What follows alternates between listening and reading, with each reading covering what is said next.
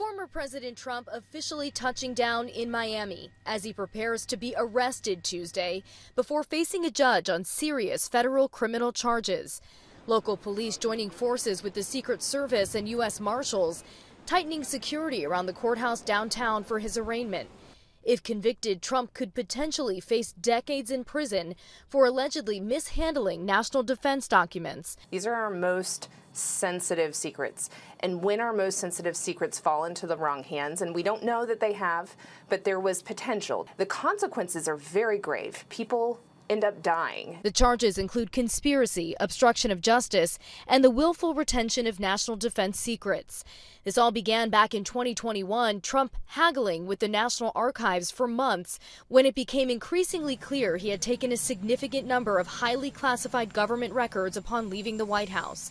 In 2022, he did return 15 boxes. That's when prosecutors say archive officials found a significant number of sensitive documents involving spies, America's nuclear defense and weapons capabilities, and U.S. surveillance programs.